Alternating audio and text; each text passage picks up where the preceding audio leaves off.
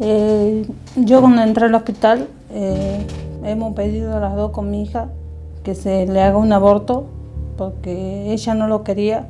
Primero había dicho yo que yo me iba a hacer cargo, pero después este, cuando voy con mi hija a la casa me dice mi hija que no quería y yo me pongo a pensar que para qué iba a venir una criatura al mundo si se iba a criar bajo un odio, un desprecio supuestamente se le, había una ley que la amparaba a ella y bueno, nosotros queríamos que se le respete la ley esa que, que ella la amparaba.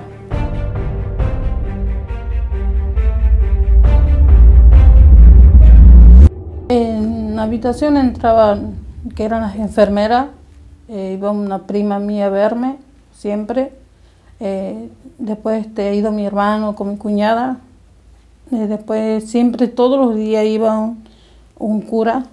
Y supuestamente a mí me hacían hacer una lista de las personas que yo quería que pasen a verlo, a nosotros. Pero él no sé cómo será que ha hecho, pero él pasaba todos los días. Él nunca ha dicho, bueno, vamos a rezar, vamos a pedir a la Virgen, nunca.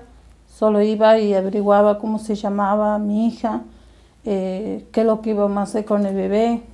Sí, ¿por qué no lo dejaba en adopción? Que la deje que siga, cosas así. ¿El, cura le dijo algo a Lucía? ¿Qué le decía?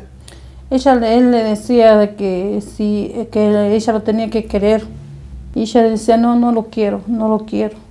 Y no permitía que nadie se le arrime a ella. Ella no quería que ningún hombre se le arrime y él se le arrimaba a hacerle cruz en la frente. Y él, ella gritaba y le decía que no se le arrime. ¿Quién más entraba? El doctor Gustavo. Él iba todos los días, a veces iba a la mañana y a la tarde, o a veces no podía a la mañana, iba a la tarde, a la noche, todo el tiempo. ¿Qué les decía? Me dice, y tienen que firmar el papel, pero vos tenés que saber que tu hija puede morir.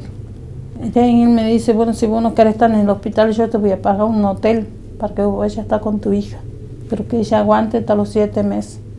Yo le decía que no, porque mi hija no quería, que tenía miedo de meses y vos no, vos no dice, darlo en adopción, yo, dice, me te prometo, me hago cargo del bebé, dice, yo lo voy a criar como mi propio hijo.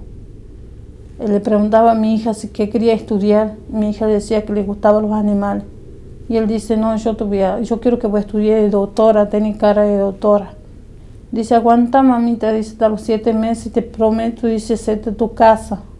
Se ha ido hasta mi casa, hasta mi pueblo donde yo vivo a ver mi casa y, ha ido y ha hablado en la comuna y lo ha hecho desarmar mi casa, destechar mi casa y, ha quedado Él ha ido a una comuna a hablar con un delegado, a pedir que me la, me la hagan en la casa. Me la han destrechado de todo la casa. Está todo totalmente destrechada. Está ahora sí, está destrechada del todo.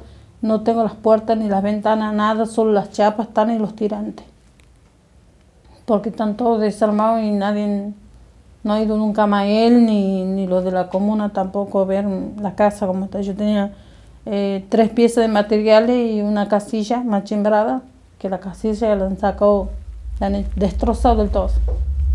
ahí está.